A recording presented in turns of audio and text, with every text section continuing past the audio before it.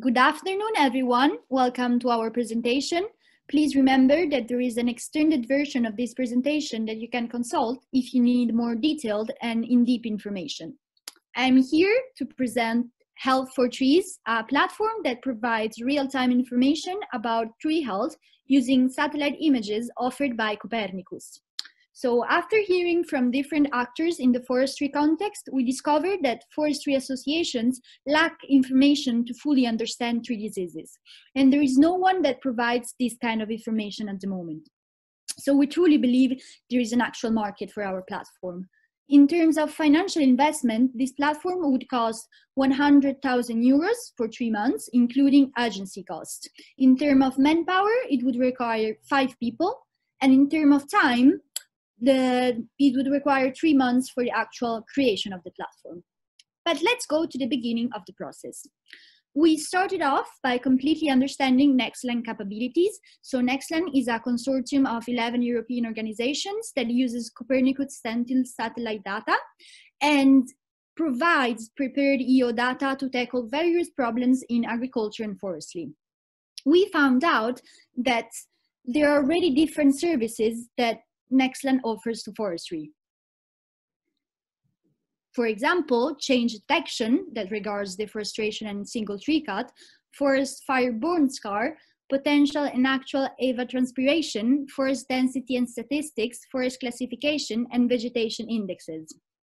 Then we analyzed the different forestry associations in Europe and the main challenges that they are facing. We can distinguish national associations with um, uh, European ones. From a European perspective, EFIS is the most important one, and it conducts research, provides policy support, and forest-related networking. In the national association context, AFG and UNAC, that are respectively Spanish and Portuguese, represent forest owners in front of the forest administration industries and other institutions. So the main challenges that these forestry associations are facing are the lack of updated satellite images to control both illegal cutting and forest growth, lack of services specifically related to forest health monitoring, and the lack of a tool that combines ground and satellite data to provide in-depth and complete information. Furthermore, we made a comprehensive competitor analysis in order to understand how we could differentiate. The main actors right now playing in the forestry industry market are Geosud, 20tree.ai, Airbus, Terracina, and SSC. After doing this background analysis, we entered the first phase of VCW and defined the main challenge and the stakeholders to be included in order to excellently tackle this challenge.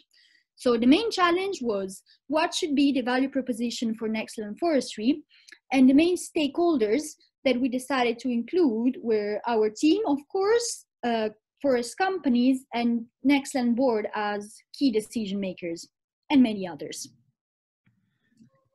In the second phase, we brainwrote ideas and filters we can say that our brainwriting was pretty successful since we came up with 38 solutions and 24 filters.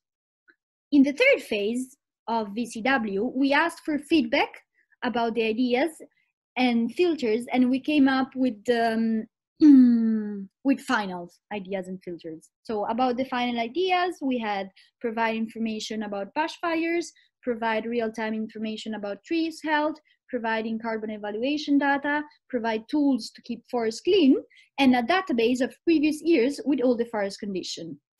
For what regards the, solution, the filters, the final filters were budget restrictions, potential customers, easy to implement, difficulty of implementation for competitors, data security, reliability of the service, and finally scalability of the service. In the feedback, we also asked to rank those filters according to the importance they had for the for Nextland board, in particular for Deimos.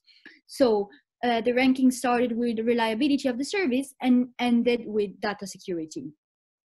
In the fourth phase of value creation wheel, we created the value funnel in order to have a final idea that would respect all those filters. So our final idea was provide real-time information about tree health. All the others, unfortunately, didn't uh, complete the funnel. First of all, we had provide tools to keep forests clean and providing carbon evaluation data that were deleted because they didn't respect the filters of reliability since the EO satellite images are not able to give reliable information for these matters.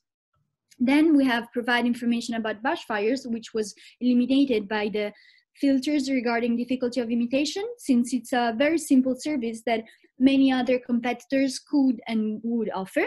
And finally, a database for previous years was a really interesting ideas, but unfortunately it was very difficult to implement because of the need of historical data. Thank you, Bianca. So as you just have heard, we decided to develop a solution which provides real-time information about tree health, and we decided to name the service Health for Trees. So what's the overall concept behind the idea? Health for Trees is a platform to detect the health condition of trees. The service will provide forestry associations with an easy-to-handle real-time database, which helps them to analyze and better understand tree diseases, such as the cork tree disease in Portugal, for example. Based on the provided images of health for trees, tree areas that are in concerning conditions are highlighted by the software and further analysis of the tree's health are available by simply clicking on the respective area. In order to visualize this concept, we developed a prototype which will help to show you our solution in practice and fully understand its functionality. This is our first draft for Health for Trees. Please note that we are certainly ambitious entrepreneurs, but unfortunately no designers. Nonetheless, this prototype is definitely feasible to explain you our idea in more detail. After accessing the website healthfortrees.com and entering your login data, you get to see an Earth observation picture from your home location. By entering another location's name, you can simply access other areas. On the left side, the website provides you a fundamental weather overview of the last 12 months from your location. This serves as a first indicator to better understand the circumstances in your respective area, as the weather can have a huge impact on trees' health. If you check out the map, you can see that some areas are colored in differently. Yellow color means that trees are in not in perfect condition. Red color marks unhealthy trees. The legend on the right side of the website depicts that. If you want to gain further analysis on concerning trees, simply click on them. This will lead you to a detailed view of a tree. This page directly shows you the overall tree condition rating, which is unhealthy in this example, as well as several additional information. On the left side, some general data is depicted, which gives you insights about things like the tree age, its size, and its growth over the past month. On the right side, you get detailed insights about the tree's crown, its trunk, and its roots. You might wonder how to achieve information about trees' roots with pictures from above, but we spoke to tree experts who told us that estimations about the roots are feasible by taking all the other factors into account. Now that you know how Health for Trees works, let us have a closer look on the business model and how we plan to generate profits. As you already have heard, our value proposition is to provide information about tree health to help understanding and, controlling tree diseases. Our primary customer segment are international research associations, such as the European Forest Institution, and secondary, we are convinced that our service may also be interesting for governments in order to support their respective forestry sector. As the number of potential customers is therefore relatively low, we think that it's best to get in direct contact with our target segments and are willing to pitch our service personally to them. Customers, on the other side, can receive information over our website via email or through a monthly scheduled personal meeting to help us improve our service even further. We plan to charge customers a monthly subscription fee, which will generate steady returns for our service. The costs, contrarily, will mainly arise through wages for employees and hosting costs for the website. In order to keep the service running, we will especially focus on good relationships with tree experts, our website host, and the Nextland Consortium. So what is needed to let this idea become real? Money-wise, we estimate costs of 100,000 euros to create the platform, as well as hire and brief the required employees. For the development of the service, we, we recommend to hire an external agency, as the demand for software development rapidly decreases after the platform is set up, and hiring developers full-time and long-time therefore does not really make sense. As you might know, these agencies are not cheap, but because of their experience, they can get the job done quickly. So we already checked the market for some options and assume that a three month development phase with 30,000 euros cost per month is realistic. In order to maintain the ongoing business, we need both a customer relationship slash sales team and a technical support team. The CRM team will be responsible for customer contact and the technical support is supposed to fix bugs and further improve our service. The team will be located in Lisbon, so we estimated a typical salary of 2,000 euros, including all tax for the employer, which will result in monthly costs of 10,000 euros. To let the Nextland consortium know how Health for Trees is developing, we suggest monthly evaluation meetings with the board to make adjustments if needed, in addition to the earlier mentioned monthly meetings with our customers. So what are the next challenges of the project if it is decided to be conducted? First step is the website development along with an agency. Afterwards, we recommend to build the CRM slash sales team to start contact forestry associations and present the software. If business is running well in Europe, we think that we can expand our product to the global market afterwards. This will obviously require constant adjustments and upgrades in our software, which is the fourth step ahead.